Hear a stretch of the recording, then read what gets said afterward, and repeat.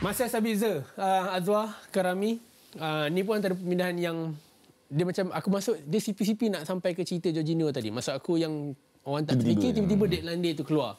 Uh, aku ingat lagi kita punya kalau ikut waktu Malaysia hari Rabu tu baru tutup. Hmm. Uh, tapi selasa malam tu dah start kecoh Sabitzer. Dia head to head dengan Chelsea tapi Chelsea pull off. Apalah, MU dah masuk kau pergi aku nak fokus ke Enzo. Hmm. Sebab aku rasa maybe pertengahan jalan uh, Chelsea macam rasa Enzo ni boleh pergi ni, boleh dapat ni. Tapi Sabitzer datang daripada uh, sistem RB tu sendiri tapi pergi ke Bayern Munich aku rasa is a typical pemain yang sukses di Bundesliga.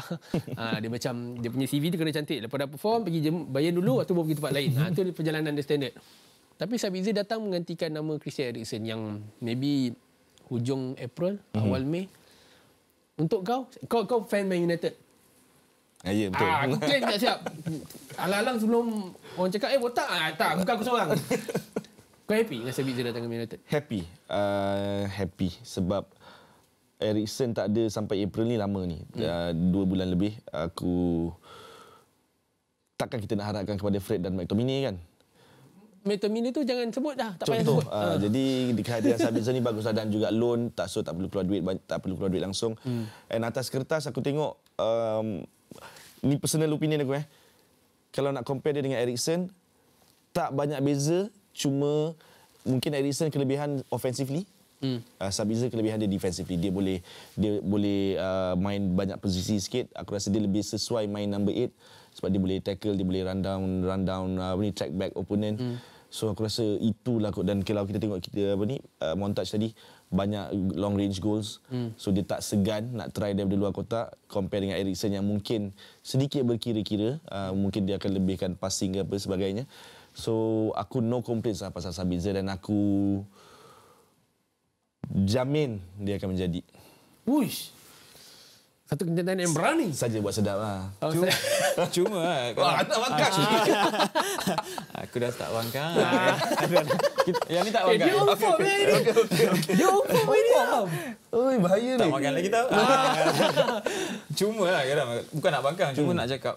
Uh, aku ada tengok bekas coach dia. Masa zaman dia main under 17 dekat Austria tak silap Okay. aku. Uh, ada selepas lepas dia deal deal yang jadi ni lah dekat MU dia ada bagi statement dia cakap uh, Sabitzer punya type of type uh, permainan dia dia jen, lebih, ke, lebih sebenarnya lebih kepada attacking sebenarnya dia, Okay. dia cakap dia boleh sesuai ke nombor 8 atau nombor 10 duduk betul-betul duduk belakang striker lah. Rasa tu memang betul-betul Eriksen punya role lah kan kalau Okay. dekat MU.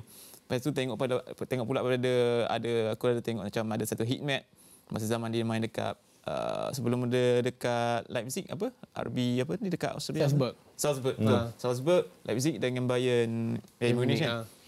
so nampaklah uh, dia punya heat map tu memang betul-betul support dekat atas kiranya dia punya uh, defensive duty tu uh, Kurang kurang, sikit sikit lah. lah. Ah. Cuma aku rasa kalau dia pair dengan Casemiro dekat MU nanti dia yang cantik lah kot dekat MU. Kalau nak cerita pasal co- comparison melibatkan Eriksen dan juga uh, Sabitzer, mungkin kita boleh jengah sikit beberapa nombor yang melibatkan dua pemain ni. Secara kasarnya kita boleh tengok obviously Eriksen lebih banyak minit permainan, lebih banyak menyentuh bola tapi obviously kau banyak sentuh bola sebab kau banyak main.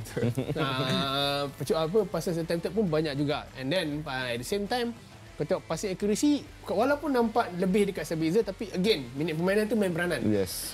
Cuma kalau nak cakap pasal mungkin lebih kepada tackle. Kau tengok tu interception mungkin lebih tinggi walaupun permainan lebih sikit and even tackle lebih banyak berbanding walaupun permainan lebih sikit. So mm-hmm. again kalau nak mengharapkan uh, situasi yang sama dengan Eriksen ada, aku rasa aku tak rasa Erik Ten Hag dia memandang benda tu. Benda apa? Maksudnya ni adalah pengganti yang ideal untuk Eriksen punya role. Hmm. Dia adalah datang sebagai pemain yang mengisi kekosongan yang, yang ada, pemain yang injured keluar ganti. Tapi bukan ganti same profile. No. Ya. Aku tak rasa macam tu. Aku nak tanya pendapat korang dua orang. This adalah panic transfer untuk Man United? Aku ada jawapan aku tapi aku nak dengar pendapat korang. Aku rasa tidak dan ya. Satu je, satu je. Alamak, Satu mana je. Satu Okey, je. aku rasa tak. Aku rasa Kenapa? Tak. Sebab Ten Hag dah pernah cakap yang dia nak sebelum ni dia ada dia ada cakap kan dia nak Sabitzer juga. Hmm. So akhirnya ni peluang dia dia dapat dan Sabitzer pun memang nak akan minit permainan. Cuma aku nak point out dekat Azwar tadi yang uh, tackle Sabitzer lagi banyak lah dia Eriksen. Uh, tapi So makan balik kan? Kenapa ada step tu tadi? kita memang berniat. tapi Azwar, uh, panic transfer untuk Man United ke? um, panic ada disco tapi yang ni aku rasa tak. Panic, ni tak bukan panic. Sebab uh, Itu band yang dah tak ada tau. ah. Sebab aku tangkap. bila lambat, bila aku tengok balik uh, walaupun orang kata last minute betul-betul last minute hmm. sekarang baru cakap tadi memang Tehak pun ada tension juga dekat hmm. Sabitzer ni ianya aku rasa bukan panik tapi ianya datang pada waktu yang tepat lah Uh, Eriksen injured lepas tu last minute pula deal cun jadi masuk Sebab ya, nak tambah right on time maybe sebab kebetulan dekat Bayern pun season ni dia tak banyak Betul. main. Ya. Hmm. So mungkin like Kita nak tunggu jawapan kau. aku tak rasa dia panic buying. Hmm, Kenapa? Even loan. Sebab sama itu pun list ada dalam uh, wish list untuk Ten Hag. Hmm. Kalau panic semalam keluar I ni beli. Tapi ni bulan 8 Dah je lama dah ada list ya, juga. ya, betul. so dia dalam shot dia dalam shot cerita awal Mungkin lah. calculated punya kalau panic pun dia dah dah calculated panically kot. Ha, calculatedly panic. Aku tak tahu lah bahasa orang putih macam mana. So dah dikira-kira inilah masa yang sesuai lah Ya, pendapat. kira, kira, kalau nak cakap pasal dari kira-kira tu yang paling jimat. Daripada lain nak kena beli sebenarnya. Ha, yang gaji RM200,000, RM250,000. Ada orang beli player murah tapi sampai sekarang belum gol lagi.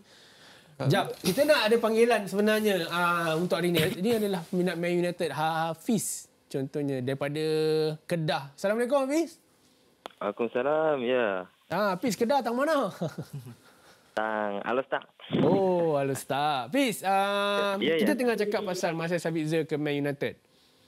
Okey. Dan aku nak tahu kau punya pendapat. Adalah ada, ni ni jangan ikut kita orang tiga orang kat sini tapi aku nak tahu pendapat jujur daripada kau. Ini adalah panic transfer daripada Man United ataupun tak pada kau?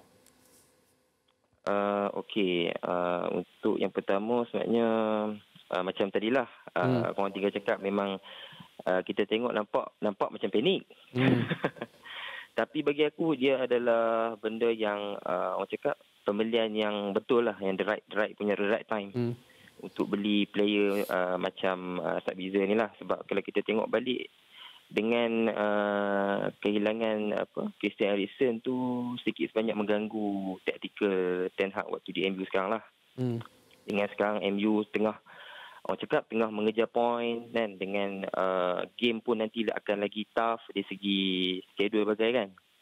So dekat situ dia memerlukan player yang uh, cun lah untuk ganti uh, replacement sebagai uh, pengganti Edison. Sebab kalau tengok balik pun uh, sebelum ni pun MU pernah uh, scout Sabitzer ni sebabkan kalau tengok pada result scouting tu dia punya leadership skills, dia punya versatile attacking, dia punya technical skills tu yang membuatkan uh, Eric Ten Hag rasa macam dia ni adalah uh, calon yang sesuai untuk ganti tempat Edison tu. Uh, macam tu. Uish, betul-betul kau baca semua eh. Kadang-kadang Fiz sebenarnya. uh, tapi Fiz, kalau kalau ada satu nama yang kau berharap Januari transfer window itu Man United dapatkan, tak kisahlah through loan ataupun through permanent deal. Siapa? Uh, Ada tak? mana-mana position eh? Mana-mana position? Kau boleh sebut nama Fauzinan ke mana-mana tak ada masalah. Orang Kedah kan. Ah, kalau tengok balik mungkin uh, forward kot. Siapa? More to forward lah. More forward lah. Kalau tengok dulu sebelum ni mengharapkan apa ah? Striker lah. Maksudnya yang- number 9 lah. Ah yes, yang penggantikan sebab tengok dari segi Martial pun uh, kadang-kadang dia dengan dia punya injury prone tu kadang-kadang on off on off kan. So kita Hmm. perlukan seorang striker yang betul-betul solid dekat atas. So sekarang bagi aku bijak lah untuk MU pilih uh, White Horse. Mungkin sekarang MU nampak White Horse tu nampak macam barai lah, macam tak function. Tapi sebenarnya untuk untuk sistem Ten Hag sendiri dia mem- memainkan uh, peranan yang penting lah. Uh, macam tu.